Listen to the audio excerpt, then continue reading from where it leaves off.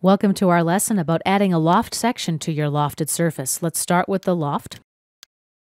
Select all three profiles. Click OK.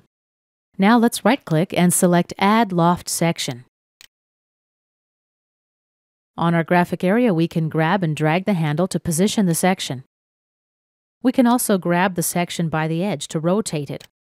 To position the sketch in a more precise location, check the Use Selected Plane option, and then we select our plane, plane 1 for example. Let me uncheck this option and click OK.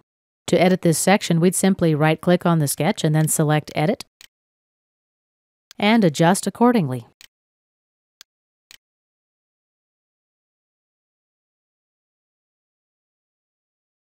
This concludes our lesson about adding a loft section.